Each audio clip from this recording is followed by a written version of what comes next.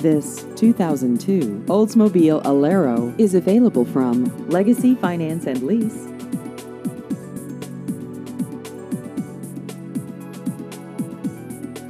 This vehicle has just over 95,000 miles.